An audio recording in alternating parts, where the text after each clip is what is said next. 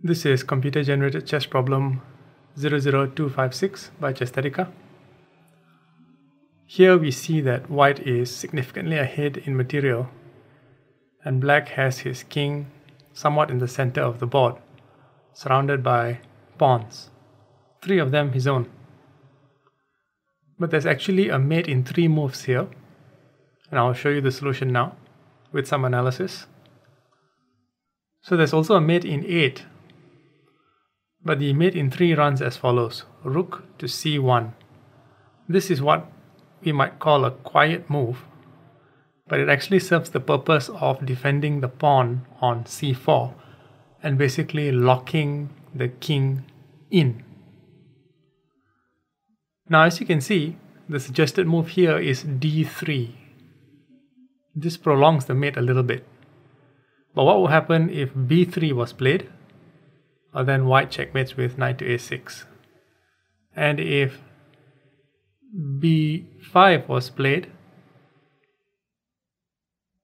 then white can win with knight to d7 because the square on b6 also needs to be guarded so knight to a6 would not work in this variation in any case after white plays rook to c1 black plays d3 and then there are two ways to win for example.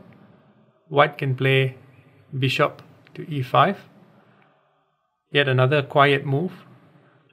And then whatever black plays here for example even d2 white can win with knight to a6 mate.